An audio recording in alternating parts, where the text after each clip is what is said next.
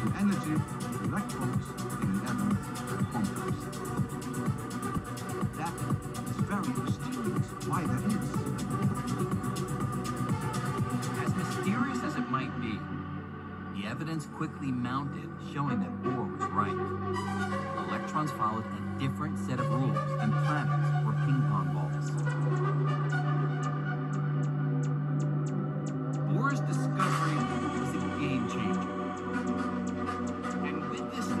picture of the Bohr and his colleagues found themselves on a collision course with the acceptables of physics. The quantum leap was just the beginning. Soon Bohr's radical views would bring him head to head with one of the greatest physicists in history.